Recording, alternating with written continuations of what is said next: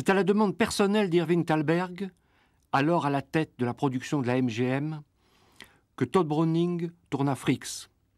Le film s'inspire tout à la fois d'une nouvelle, Spurs, de Todd Robbins, des souvenirs glanés par Browning au cours d'un voyage en Europe et de conversations que Browning avait eues avec le nain Harry Earls.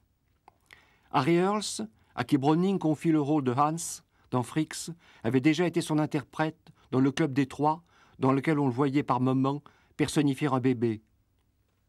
Le sujet du film posa, comme on peut le deviner, de nombreux problèmes. Irving Thalberg dut se heurter au sein de la MGM, à la fois au directeur financier de la compagnie, inquiet par le sujet du film, et aux propres employés du studio, envahis par les étranges créatures de Fricks. Dès la fusion, qui aboutit à la création en 1924 de la MGM, Irving Thalberg, le bras droit de Louis B. Meyer, le patron de la nouvelle société, avait obtenu de mettre sous contrat Lon Chaney, dont il avait remarqué le talent lorsqu'ils étaient tous les deux à l'Universal.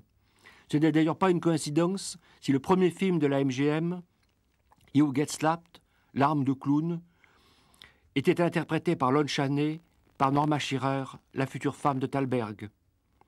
À l'issue de la du film, nous vous proposerons une seconde fin un peu plus complète que celle généralement vue.